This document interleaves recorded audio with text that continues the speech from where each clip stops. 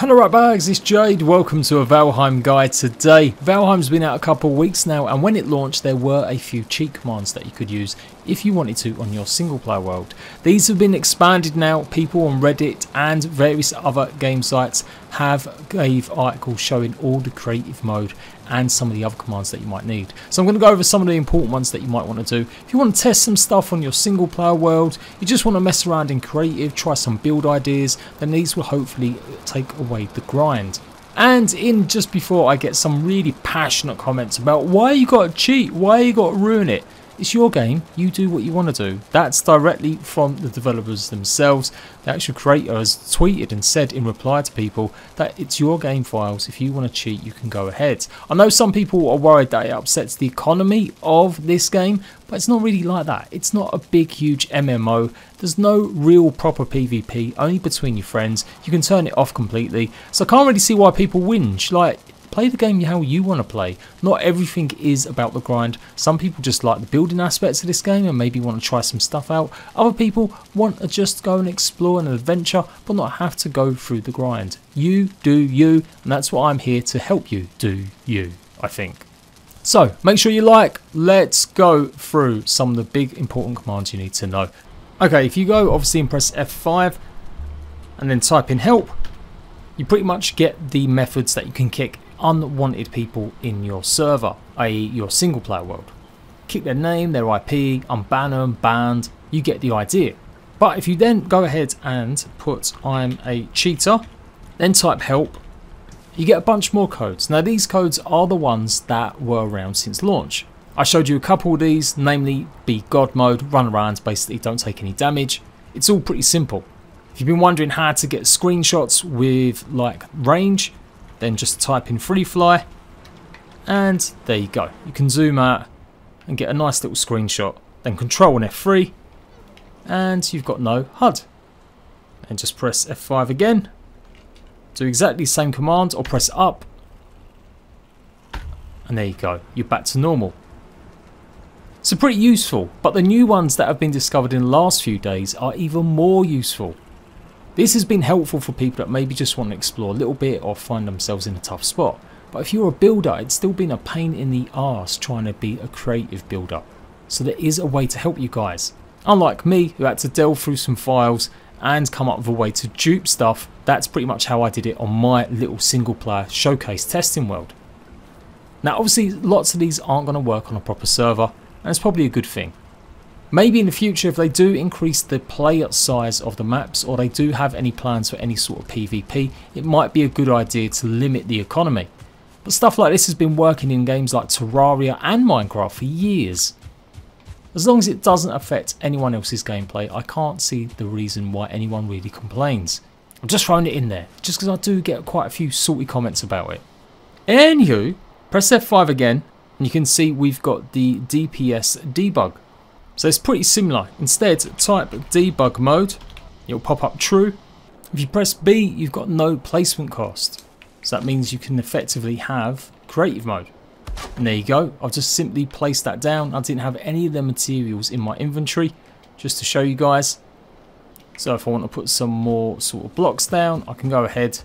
And even though I don't have any stone, I can go ahead and put them down. The best bit about this one is it ignores any workbenches. If you've been frustrated by the length of the workbench and the range, well, you can go ahead and start just putting blocks and buildings down wherever you want. So really super good for creative builders that just want to show off what they can do, or if you're just planning something out to do on your proper legit world, or on a server that you're playing with your friends. Although do bear in mind, you still have to recognise the laws of gravity and how to build. Now there is a command for fly, but I can't seem to get it to work. If you press Z button, it is meant to able to make you to fly, but no matter what combination I try and do right now, nothing's really working. If I press F5, and then maybe type fly again, you can still see it's not working. And the last one is a command that you've been able to use in just the first set, which is pretty much press F5 and then go ahead and type kill all and it usually kills any enemies within range of you. You can see this is all the deer hide and the boars from close by.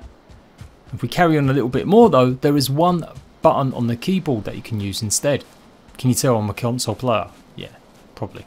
While in debug mode, making sure you are in debug mode, go ahead and just press the K button. And there you go, just killed all these poor deers in one fell swoop. I've been able to basically duplicate items, it's a long process, and I have to find an original item first. And I can only duplicate resources, I can't duplicate weapons or armor pieces, etc. But you can now spawn every item in that you want. There is a huge list on Reddit, and I'll leave the links in the comment section for it as well. I might even post it in the comment section if you just want to refer to it all in one go. One of the things that you can spawn in is a trader.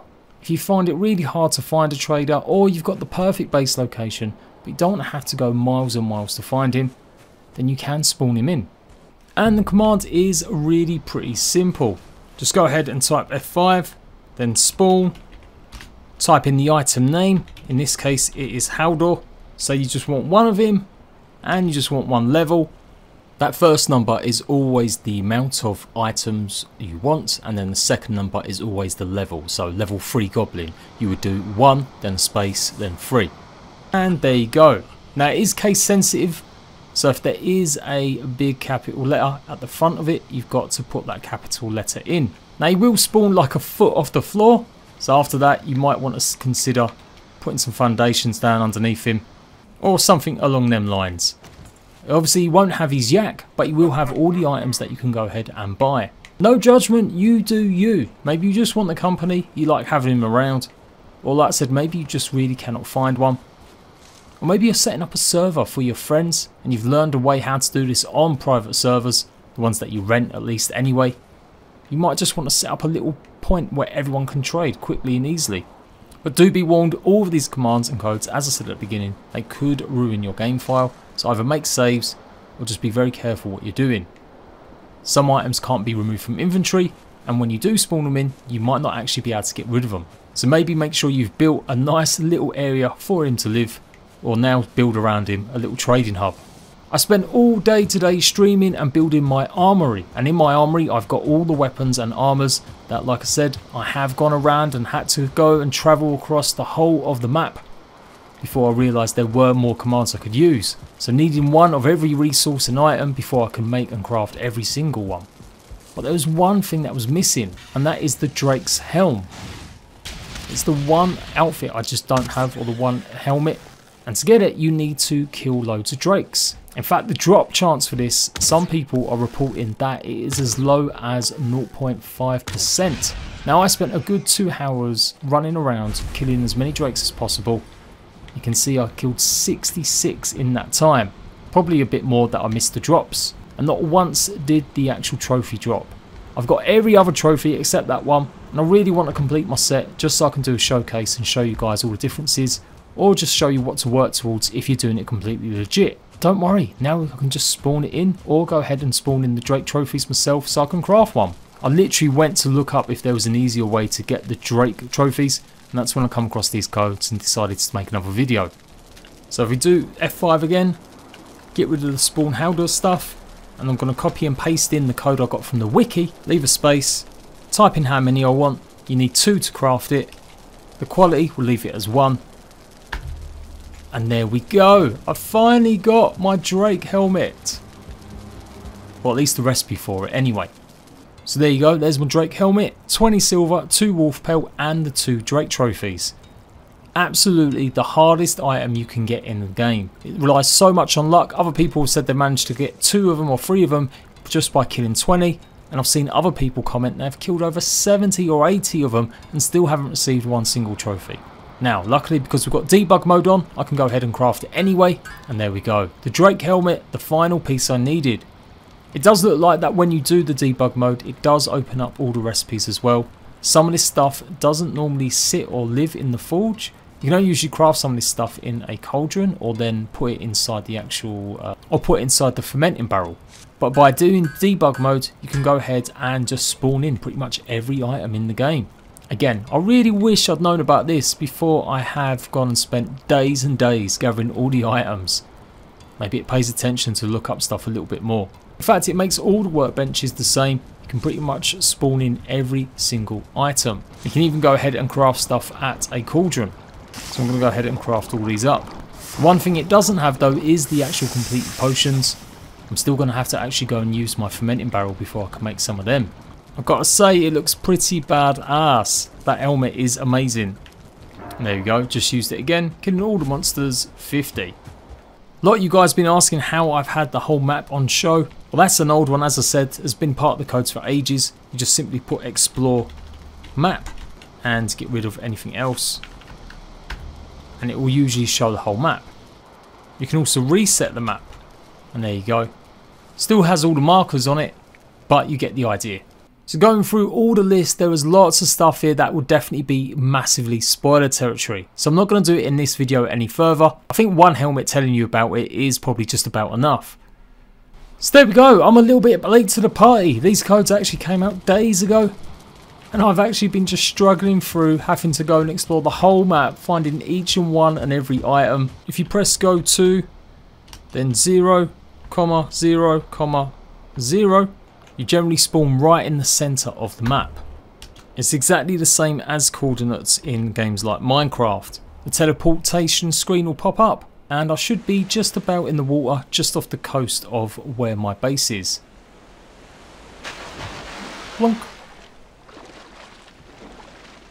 And there we go. It's going to be a long swim. Who says cheaters always prosper? And that is it guys, I am off. I hope this has been a little bit helpful. If it has, let me know in the comments section down below. And yeah, don't get salty. Let people play their game. As long as they're not affecting you, who cares if anyone cheats? Absolutely, I can't wait to dive into this on my server where there will be no cheats. I'm going to really enjoy the grind and playing with some friends and ratbags while we go and take on all the bosses together. But if you're a solo player or you just don't have loads of time, as I said, I see no problem in doing this kind of stuff. It's exactly the same sort of system Terraria had for years, but in Terraria you had to spawn stuff in on your second character and then there was a way to duplicate items. What they maybe do need to do though is add a command or an option to stop players going to servers with items on them. If you are running a open server somehow, even though it's a 10 player game not really built for huge PvP, and you don't want anyone to get the upper hand or advantage, I think it would be beneficial if the developers do add some sort of command or some sort of option that you can't spawn in with any items at all.